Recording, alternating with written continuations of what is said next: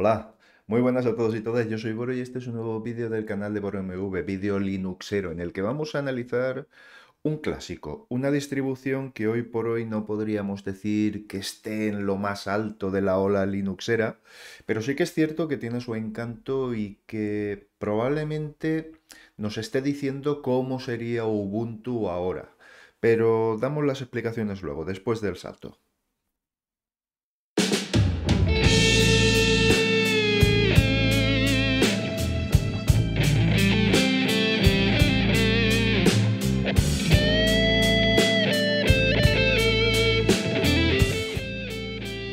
Obviamente estamos hablando de Ubuntu Unity, uno de los sabores oficiales de Ubuntu. Em, me he llevado una gran sorpresa, mm, no por su usabilidad, porque evidentemente estamos hablando de la misma usabilidad que tenía hace 6 años, que es cuando recibió, por cierto, su última actualización esta versión Ubuntu eh, de Ubuntu Unity no tiene la última versión de Unity que es la 7.6. En un vídeo posterior os mostraré cómo se puede actualizar y cómo se puede tener la última versión. Evidentemente yo creo que esto es una cuestión más de, cabezonería, no, quisiera decirlo así, pero sí de, de mm, intentar mostrar de que sí tenía viabilidad Unity.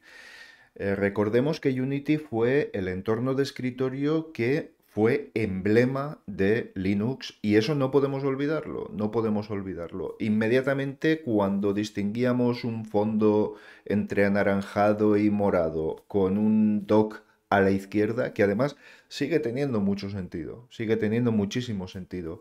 Evidentemente estábamos hablando ya de eh, Unity y de Ubuntu. Fue la imagen de New Linux guste a unos más o guste a otros menos. Aún lo recuerdo en Big Bang Theory cuando Sheldon Cooper eh, manifestaba que era su eh, sistema operativo en base Linux favorito. Correcto, esa era la frase, por lo menos en el español de España, en la versión de, aquí que, que pudimos ver aquí. Bien, ¿qué nos ofrece de nuevo? Nada ¿Qué nos ofrece en términos generales? Pues mm, la misma buena experiencia que ofrecía en su principio. A mí me gustaba Unity. Eh, considero que dio un salto exponencial. De repente nos encontramos con unos entornos mucho más modernos, mucho más vistosos y con una e, y escapándonos de cierta tosquedad que, de que a veces hemos sido muy aficionados en New Linux. De hecho, no tenéis más que ver el vídeo que hice sobre Mate, en el que un entorno que en principio no está llamado a ser estéticamente deslumbrante ha acabado siéndolo.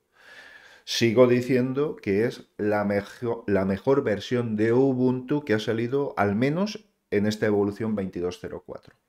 Bien, dicho esto, eh, nos llevamos sorpresas como muchos componentes de mate en Ubuntu.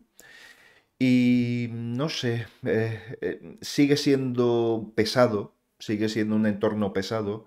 Y te das cuenta que al final lo que intentó Ubuntu fue con Nome Shell hacer un una réplica de lo que era Unity. Yo considero que Ubuntu Canonical tuvo una rabieta importante, mm, desechó el desarrollo de Mir, que se sigue desarrollando, por cierto, pero al menos para el público o para la comunidad, desechó el desarrollo de Mir, desechó el desarrollo de Unity y simplemente se basó en un fork como Dash to Dock, como para un fork de Dash to Dock, mejor dicho, eh, para, para, realizar su nueva interfaz y olvidarse total y absolutamente de su desarrollo. Eh, evidentemente, mm, a mí no me gustó la reacción de Ubuntu, de Canonical, pero tampoco estuvo, creo que demasiado bien, y aquí sí que me manifiesto la reacción de la comunidad a determinadas cosas. Esto fue eh, como decía mi abuela, cuando se juntan el hambre y, las ganas de comer. Es decir, al final es difícil discernir cuál es una y cuál es otra. Eh, creo que fue una confluencia de muchos factores. Eh, Ubuntu Canonical siempre ha tenido la tendencia a, desoír, a desoír a la comunidad y de marcar una ruta que probablemente no fuera del agrado de todos. Así que, bueno, pues tenemos claro que siempre es así en Canonical, siempre es así en Ubuntu. De hecho, ahora lo tenemos el, ejemplo en los snaps. Pero bueno, para bien o para mal son así. Lo he dicho, no lo voy a criticar más a Ubuntu ni a Canonical. Es decir, es su decisión, es su planteamiento y es lo que ofrece. Mm, tenemos que aceptarlo y si no nos gusta hay otras cosas. Yo creo que con eso tenemos que tenerlo claro. Eh, una cuestión importante es el soporte nativo para Flatpak. Es decir, ya viene activado, ya podemos instalar aplicaciones de Flatpak por defecto, eh, si lo deseamos. Así que nada, me parece una buena opción, me parece una buena opción. Es una distribución extraña, pero bueno, yo creo que vamos a proceder a instalarla y creo que sobre el papel lo vamos a ver todo bastante mejor. Bueno, ya estamos por aquí. Vamos a hacerlo de siempre. Vamos a instalar Ubuntu Unity y vamos a eh, mostrar cómo es, qué novedades trae, eh, en fin, todo lo habitual. Así que nada, vamos a valernos de nuestro Nome Boxes.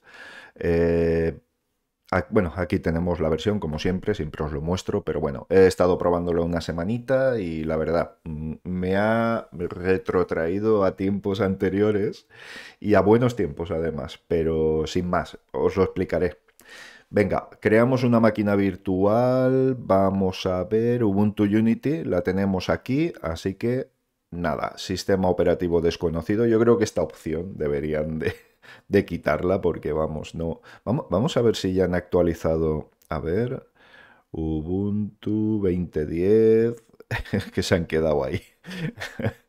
Así que nada, lo dejamos en desconocido y ya está. Personalizar 4 gigas de RAM sin más opciones. En el disco, pues que ponga lo que considere oportuno, son 21,5 gigas, o sea que va muy bien. Aquí tenemos las opciones habituales, Ubuntu Unity, Ubuntu Unity Safe Graphics, eh, con gráficos de bajo nivel y, bueno, instalación para fabricantes.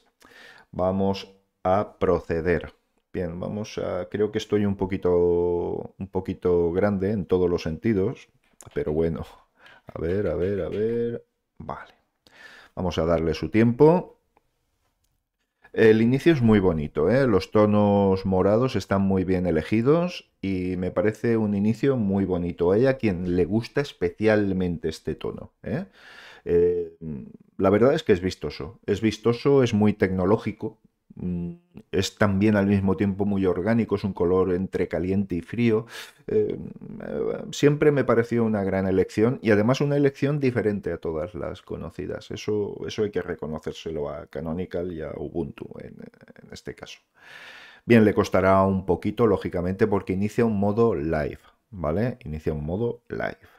Vamos a darle su tiempo, no, no mucho, como veréis ya está y ahora, pues, pues nada. He hecho una limpieza del sistema con Netella y me ha quitado un montón de cosas y me lo ha dejado limpito y perfecto. Os invito a que visitéis el grupo y que desde la página de GitLab eh, descarguéis e instaléis Netella porque va de maravilla, va fantásticamente bien. Lo utilizo, vamos, continuamente.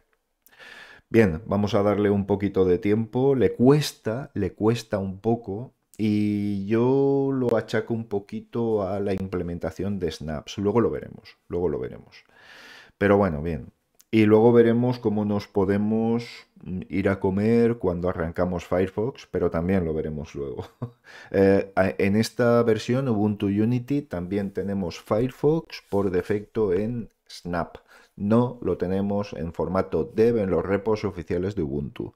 ¿Por qué esta cabezonería? Pues ellos sabrán, pero esto tampoco juega a favor de, Firefox, ¿eh? porque la experiencia que tienes utilizándolo no es la que se debería.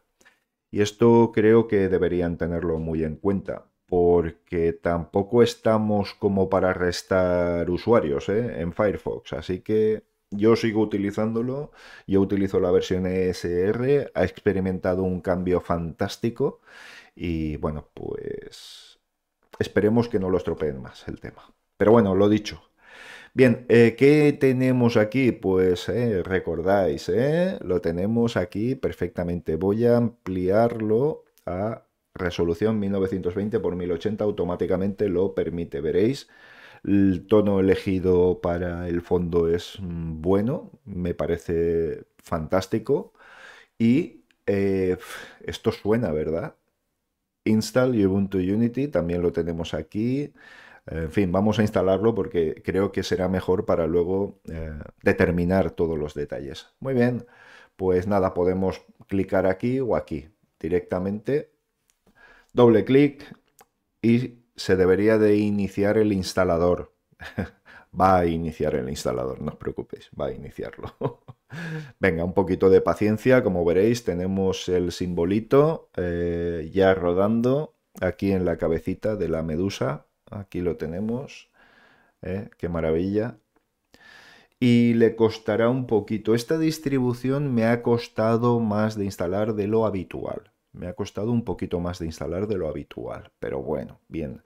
Bien, ¿en qué lo queremos utilizar? ¿En Euskara? ¿En Esperanto? ¿En español? ¿En galego? En... Pues yo creo que si lo instalamos en español va a ser una buena, una buena solución. Continuamos. Una buena solución para todos. Bien, aquí tenemos en Spanish en Spanish la disposición del teclado. Podríamos probarlo aquí, podríamos, pero bueno, no es el caso porque lo tenemos claro, así que pues ya está. Bien, ¿qué podemos hacer? Una instalación normal, una instalación mínima. Una instalación mínima muy interesante esto de la instalación mínima de Ubuntu porque te permite instalar lo justo. Nosotros vamos a hacer una instalación normal para ver qué nos instala por defecto. ¿De acuerdo? Le damos a continuar. Aquí nos dice lo de siempre, pues que instalará un navegador, un servicios multimedia, reproductores, etcétera, etcétera. Bien, ¿Qué queremos hacer? Borrar el disco o em, eh, modificar las particiones y tal. vamos, en este caso, vamos a instalarlo como si fuéramos novatos. ¿Desea escribir los cambios en los discos? Pues sí. Continuamos entonces. ¿De acuerdo? Vamos a ver, estamos aquí. Eh, sabéis que a veces me gusta porque, bueno, pues oye, pues estamos aquí, por lo tanto le decimos que estamos aquí.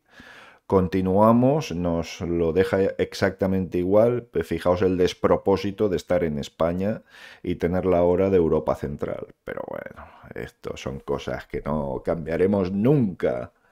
Nunca. Bien, eh, le damos a todo que sí. Como veréis, el tono morado lo hace todo muy amable y muy personal, la verdad. Lo hace muy personal. Continuamos. No utilizamos Active Directory. Así que dice que la contraseña es corta, evidentemente. Podéis deducirla fácilmente con esta instalación. Pero bueno, bien, aquí nos eh, ya va indicando cositas, nos va diciendo repleto de características nuevas, tampoco es tanto. La versión más reciente de Ubuntu hace que la computación sea más fácil que nunca. Echemos un vistazo. Sí, sí que es cierto que trae novedades en la instalación por defecto de Ubuntu, pero tampoco ha sido una versión ultra revolucionaria. Eso también tenemos que tenerlo claro. Bien, echamos un vistazo. Podíamos venirnos aquí. Correcto. Eh, olvídese de, buscar programas nuevos en la red. Eso hace ya mucho tiempo, queridos amigos de Ubuntu Unity y de Canonical. Hace mucho que no lo hacemos. En la tienda de Snaps y el archivo de Ubuntu podrá encontrar e instalar aplicaciones con facilidad, nos dice. Tan solo escriba el término de búsqueda, es decir, todos sabemos más o menos mover el instalador de eh, la tienda de software de Ubuntu o centro de software de Ubuntu, como queráis, el de Nome, etcétera, etcétera. Nada nuevo bajo el sol. Nos dice también que incluye fantástico reproductor Ringbox. Eh, está bastante bien, las cosas como son. Y es sencillo programar canciones, etcétera. Es, mm, es una buena una buena opción. Aplicaciones disponibles nos dice Spotify en un empaquetado no dev o estaba en dev. No, no, no lo recuerdo ahora mismo. Eso podríamos verlo inmediatamente. No sé si me va a dejar. Eh, no, no sé, demasiado le estoy pidiendo al sistema, pero bueno, bien.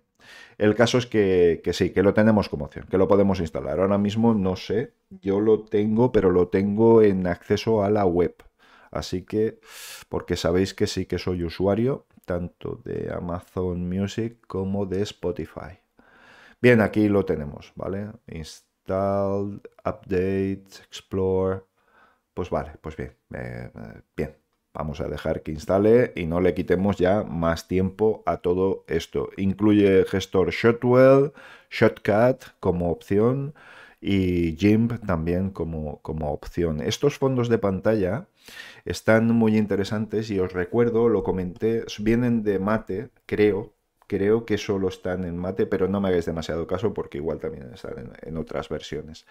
Em, están generados por IA, por inteligencia artificial. Es una generación por inteligencia artificial. Simplemente pues le introducirán unos parámetros de desarrollo, pues de que tenga estos colores, que se representen estas figuras, en estas criaturas y bueno, pues han desarrollado unos fondos de pantalla que me parecen muy, muy, muy interesantes. Muy interesantes y muy vistosos. Es una novedad, está bien. Está bien. Bien, el software incluye Firefox, Snap, recordémoslo, Thunderbird como gestor de correo y Chromium como opción. Bien, software updates available to download. Eh, a ver, bien, no sé qué. Vale, dice que estaba eh, disponible. ¿Vale? Sin más.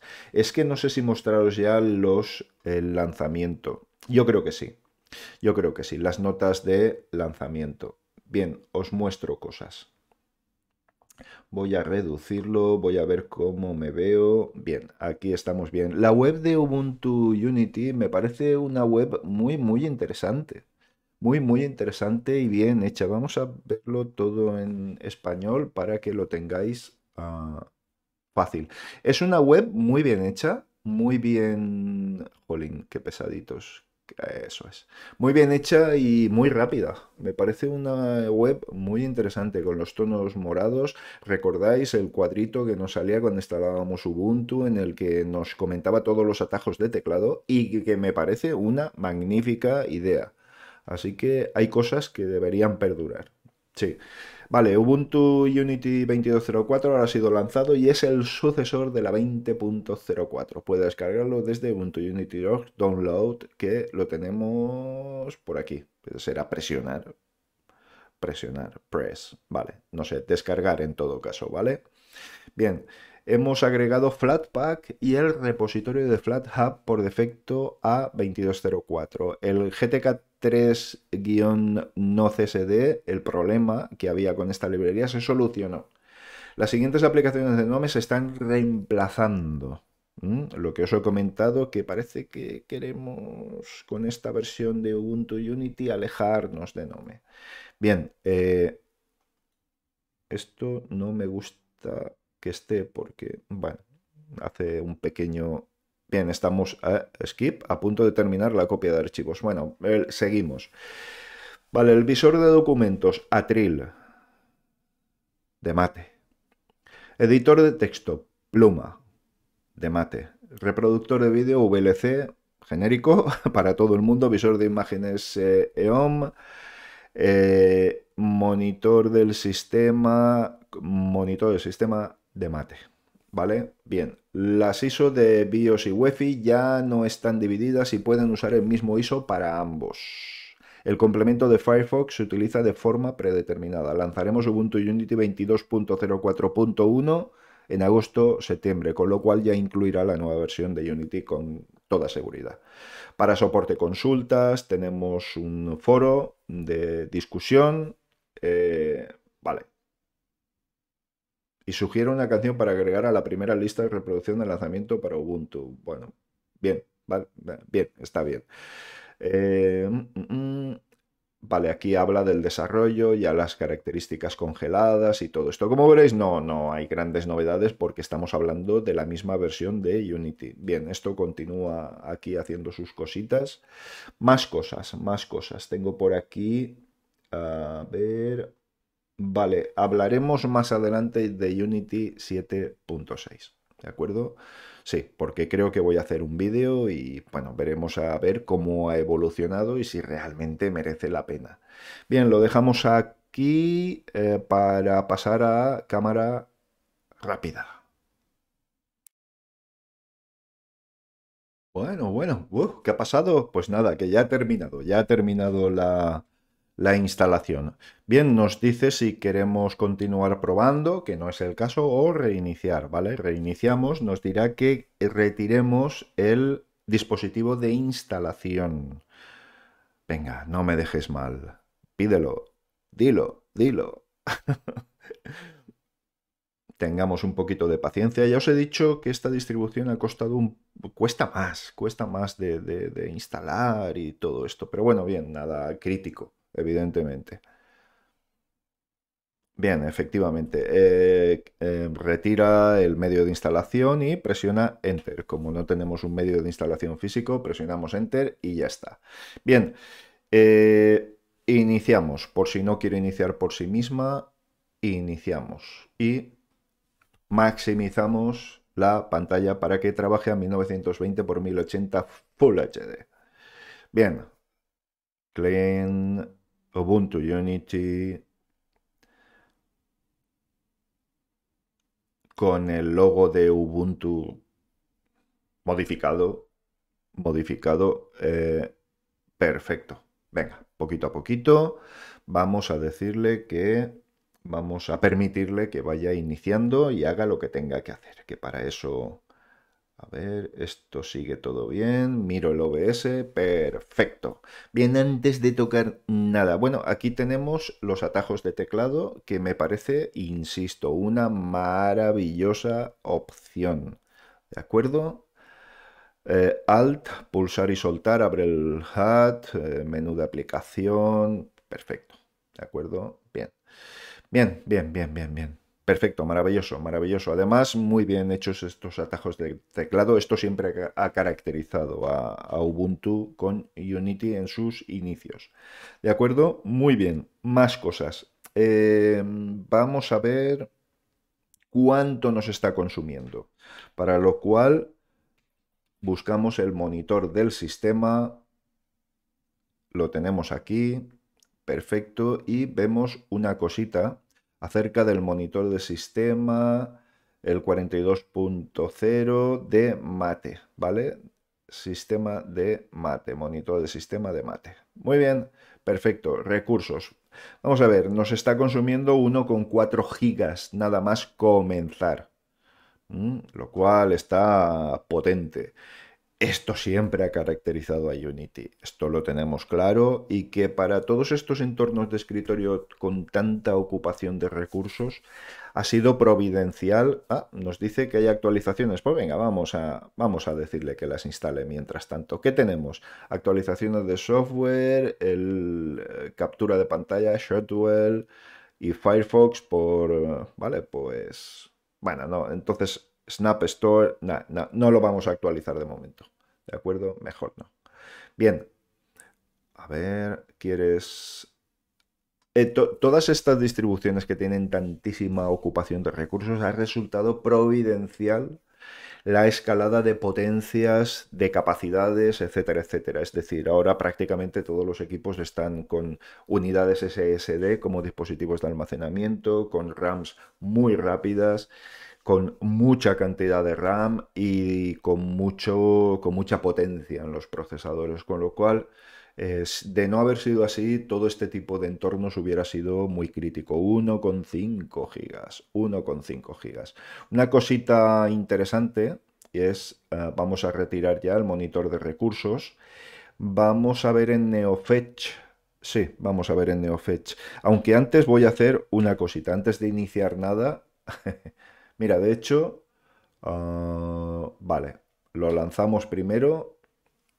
Creo que nos podemos ir a tomar un pincho de tortilla y una cerveza y volvemos en un momento porque, bueno, esto es lo que os he comentado, que lastra la experiencia de uso con Firefox. Ya no es que sea una decisión de Canonical, de Ubuntu, es que un navegador no puede tardar este tiempo en iniciarse. Me da igual que sean snaps, flatpaks o cacahuetes, me da lo mismo. No puede tardar este tiempo. ¿De acuerdo?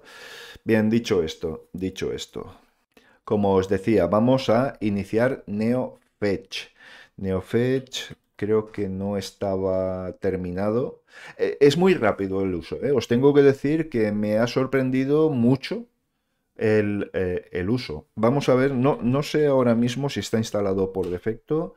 No, vale, pues hacemos un sudo apt install neofetch. perdón, me he equivocado con la contraseña. Esta y le decimos que sí, no tardará prácticamente nada en instalarse. Eh, lo que os comentaba, la experiencia de uso ha sido enorme, o sea, funciona muy, muy, muy rápido, muy rápido este, este Ubuntu con Unity. Eh, eso sí, a costa de tener... Mm, sabéis que vais a consumir muchísima RAM y que con menos de 4 GB esto no, no, debería funcionar de una manera tan clara. NeoFetch. Bien, aquí lo tenemos. Logo de Ubuntu y tenemos, ¿qué tenemos? Tenemos que es la 2204 LTS, que eh, utilizamos el kernel 5.15 un kernel bastante moderno. Eh, tenemos nueve paquetes en Snap, ahora haremos un sudo snap list y veremos de qué estamos hablando. Tiene 1854 paquetes instalados de PKG. Vale, el shell es en Bash 5.1, eh, Unity 7.5, recordemos que estamos esperando Unity 7.6. Compis, como Windows Manager. El tema es el Yaru Unity Dark por defecto. Me parece una buena elección. Eh, además, es que Yaru, es que, no sé, es muy bonito. A mí, ¿qué queréis que os diga? Me encanta. La memoria ocupada, según NeoFetch, es 1,2 gigas, lo cual no está nada mal. Bien, hacemos un sudo snap, snap, ah, ah, ah, list y vemos que tenemos instalado en Snap. Tenemos instalado el Core, el Firefox, ¿de acuerdo? Nome.3, o sea, Nome 3, 38. Eh, bueno, los temas GTK, el centro de software y, eh, bueno, el plugin de integración en el escritorio. Bien, pues bastantes cositas, ¿de acuerdo? Vamos a ver qué nos dice el centro de software. Vamos a ver esto de que también nos ofrece paquetería Flatpak. Vamos a ver, por ejemplo, el que siempre busco, porque como son cuatro letritas, pues cuesta menos de encontrar. Que vamos a ver que refresque su información. Tenemos Glimpse o GIMP, ¿de acuerdo? Bien.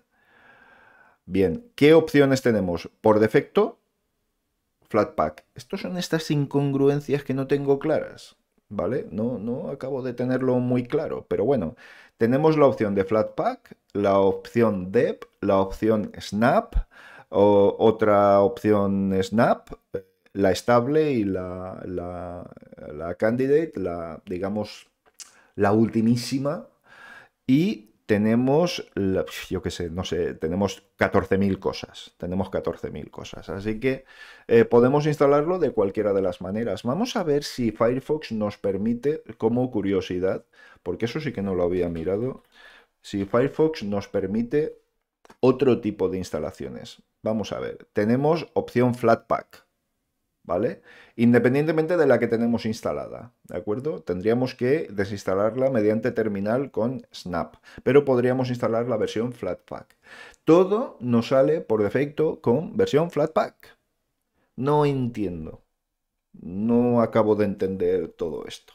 Pero bueno, estos son cosas que, no sé, podríamos buscar otro software, por ejemplo, Kdenlive, el software que utilizo habitualmente, editor de vídeo, tenemos dos opciones.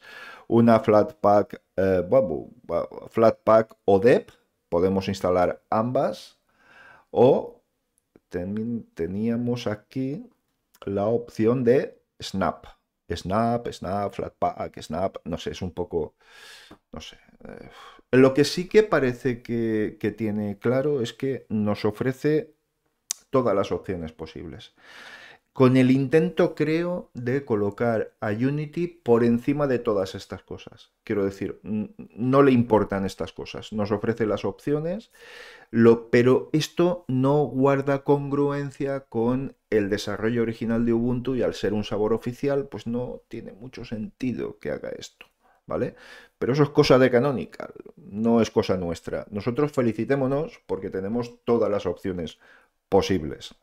Bien, por lo demás, poco más os podría. Vamos a dar un pequeño paseo, por ejemplo, vamos a ver el, eh, típico, la ventana de configuración del sistema, software y actualizaciones, sharing, sharing, esto no, sé, computer name, toda, bueno, sí, es para compartición y todo esto. Bien, detalles. Eh, tenemos aquí las aplicaciones predeterminadas, que tenemos aquí todas, eh, que podremos modificarlas si lo deseamos, por ejemplo, LibreOffice Writer, Inbox, sí, podríamos utilizar VLC, por ejemplo, etcétera, ¿de acuerdo? Eh, vale, con la introducción de soportes extraíbles, qué comportamiento queremos que tenga el sistema, eh, más cuentas de usuario, eh, en fin, que, que sí, que tenemos las opciones habituales, pero mucho menos que en otras distribuciones. Recordad que el entorno Unity, en cuestiones de configuración, nunca ha sido excesivamente generoso. ¿Vale?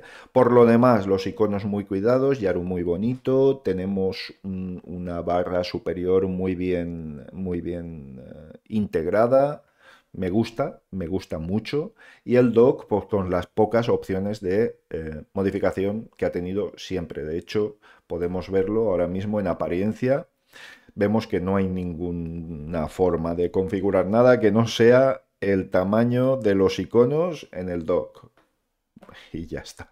No tenemos más opciones. Tenemos la opción de elegir el tema mm, y poco más, poco más. No, no tenemos absolutamente nada más. Bueno, en el comportamiento recordáis las opciones que tenía Unity, que era eh, podemos ocultar el lanzador por defecto. No le veo mucho sentido a hacerlo así. Eh, bien, activar las áreas de trabajo, veréis cómo las tenemos opcionales, ¿veis? Aquí tenemos las áreas de trabajo, el icono mostrar escritorio para minimizarlo todo y que nos muestre el escritorio, visibilidad de los menús, efectos visuales bajos o altos, bien, pues nada. Y en aspecto, ya os digo, los fondos de pantalla, algunos sugerentes, nada deslumbrantes, por otra parte, de no ser los generados por IA, que me resultan muy curiosos. Este entorno de escritorio te tiene que volver loco en, en menos de 10 minutos. Dios mío. Bien, eh, las medusas en sus diferentes formas, tamaños, configuraciones, este me parece muy curioso pero bueno, tampoco es que sea un prodigio de belleza, evidentemente. Este con unas ondas marinas, probablemente un fondo evocador que quiere simular un bosque. Y vamos a ver estos que son los que os he comentado. E, e, este me parecería el más congruente de todos, porque al final pues estaría hablando de Ubuntu Unity. Pero bueno, los fondos de pantalla generados por IA, que ya os mostré en alguna ocasión, y que me parecen muy diferentes a lo que estamos habituados. Son entornos muy contrastados, muy, muy pesados, con colores muy vivos, pero que a quien le guste y a quien haga gala de, utilizar Jamie Jellyfish, pues le será, mm, vamos, maravilloso. Hay unos más oscuros que molestan un poquito menos a la vista. En todo caso, oye, son diferentes, son diferentes. Este me parece muy bonito, me parece muy, muy, muy bonito, con una eh, como si estuviera pintado a mano sobre óleo. Eh, tenemos algo parecido. No sé, a mí probablemente el más bonito, el que os he comentado. Bien, y tendríamos el habitual de Ubuntu en sus diferentes opciones. ¿De acuerdo? Bien, pues, ah, bueno, tenemos este que cambia en función de la hora del día en el que estemos. Me parece interesante, me parece muy elegante, muy interesante. Bien, lo dicho, vamos a dejarlo eh, aquí y lo dejamos ahí también. Bien, devolvemos los iconos del escritorio a su configuración y como veréis, no tenemos muchas más opciones de configuración precisamente. Podríamos hacerlo a través de herramientas de terceros, de Conf Monitor, etcétera, etcétera. Podríamos hacerlo con otras, con otras cosas que no cambian, como la tableta Wacom, el acceso a la tableta Wacom. En monitores tampoco tenemos grandes novedades. Bordes adhesivos, escala de menús, interesante, resolución, bueno, no mucho más. Eh, aquí tenemos el HUD que es para escribir directamente una orden, podríamos hacerlo a través del botón super o a través, mira, voy a abrir el terminal y voy a dejarlo fijo, mantenemos en el lanzador. Los botones, ah, por cierto, por cierto, por cierto, que se me olvida, algunas cosillas más. Vamos a ver el, gestor de archivos, aquí se llama archivos, ¿vale? Y vamos a ver una serie de cositas. Ah, bueno, las configuraciones habituales, las configuraciones habituales, pero estamos hablando de caja, caja de mate, ¿de acuerdo? Del entorno mate. Bien, eh, ¿qué más cositas quería mostraros? Bien, las aplicaciones que instala por defecto, veis el, el, el, cómo nos lo muestra, muy típico de, de mm, Unity. Bien, aplicaciones, órdenes, apariencia, aplicaciones al inicio, archivos, en fin, no, nada nuevo, quiero decir, eh, acceso a nuestros eh, carpetas de sistema, cosas interesantes, por ejemplo, que es algo que no entiendo por qué y echo bastante de menos, en Nome es la colocación de iconos en el escritorio, pero también eh, os estaba comentando los botones a la izquierda, la integración con los botones a la izquierda. Le da, desde luego aprovechamos la pantalla absolutamente al máximo y esto es algo interesante, muy, muy, muy interesante. ¿eh? Así que nada, esto es una buena opción y, me parece muy lógica por otra parte, pero bueno. En fin, eh, no me sabrá por qué estas cosas no las implementa. Lo que os comentaba, por ejemplo, queremos crear un documento vacío y lo creamos sin ningún problema. Si lo creamos en otro lado, lo arrastramos directamente. A ver, vamos a hacerlo, eh, por ejemplo, aquí. Vamos a decirle que también lo mantenemos en el lanzador. Es muy rápido, ¿eh? la, la, inserción de elementos en el lanzador es muy, muy rápido. Pero bueno, vamos a ver, por ejemplo, en música, vamos a crear un documento vacío que se llamará, pues, eh, documento sin título 1 y que, bueno, pues estamos trabajando con él y de repente decimos, bueno, voy a colocármelo aquí porque estoy haciendo, eh, a mí me, viene, me vendría especialmente bien, sé que se puede hacer, sé que hay plugins, o sea, extensiones para hacerlo en NoMeshell, pero no funciona de esta forma, no funciona igual de bien, tiene carencias. Y a mí esto me resulta muy práctico y muy bueno a la hora de hacer los vídeos, porque incluyo imágenes, eh, textos, etcétera, etcétera, y lo podría tener todo a un golpe de mano, cuando terminas lo metes en tu directorio o lo borras y se acabó. Me parecería una magnífica opción, pero no me decidió quitarla. En Unity la tenemos. ¿De acuerdo? Por lo demás no sé, creo que sería incidir en cosas que ya conocéis, la mayoría, y bueno, yo creo que directamente podríamos pasar a las conclusiones finales con este Ubuntu Unity 22.04 LTS, Jamie Jellyfish, y esperando la versión 7.6. Probablemente esta misma semana tengamos un vídeo y ya cerremos el círculo de Unity en Ubuntu en este nuevo lanzamiento. Me ha quedado en la cabeza dando vueltas continuamente cuando hace, hace eh, eh, eh, antes de, mostraros la instalación y cómo es, cuando he dicho distribución extraña. Es extraña. coge elementos de mate, aunque está basada en Nome. Em, no vemos aplicaciones de Nome. No sé, es todo un poco, no sé, como buscar una alternativa forzosa a la fuerza. Eh, yo creo que mm, hoy por hoy esta distribución no sería recomendable más allá de aquellos nostálgicos que en algún momento pues encontraron su distribución con Ubuntu y con Unity como entorno de escritorio. Si si queremos tener esa misma experiencia de uso, podemos tenerla tranquilamente, todo responde bien, todo es estable, todo funciona. De hecho, en esta versión llevaba seis años sin hacer una gran evolución, solamente pues algunas rectificaciones de estabilidad y todo esto. Tenemos claro que Ubuntu, eh, Unity 7.6, que es la siguiente, eh, tiene publicado su código en GitLab y bueno, pues creo que son avances importantes. ¿A quién recomendarías esta distribución, Boro? Pues probablemente a nostálgicos, probablemente a nostálgicos, porque, bueno, no nos ofrece nada nuevo que no nos ofreciera otras versiones de Ubuntu. Bueno, he tenido que pausar la grabación porque tenéis que saber que los valencianos tenemos suficiente con quitarnos una pincha de un dedo para celebrarlo con tracas. con, con, fuegos artificiales, con todo lo posible.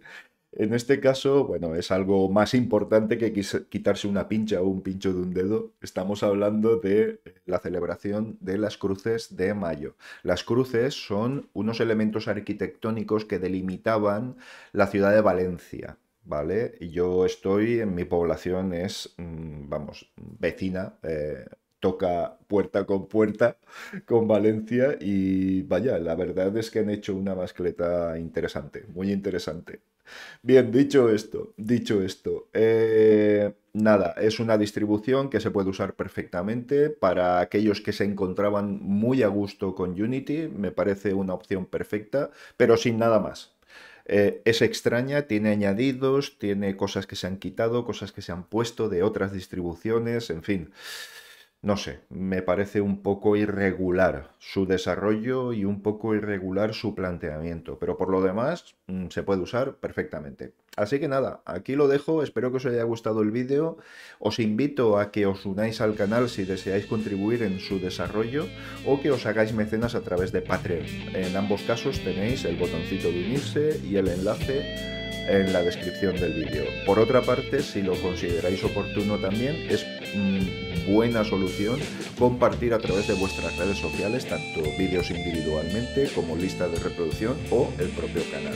Esto ayuda a incrementar la comunidad, que es el verdadero propósito de este canal, por otra parte. Así que nada, ahí lo dejo. Muchísimas gracias a todos y todas y nos vemos en un siguiente vídeo.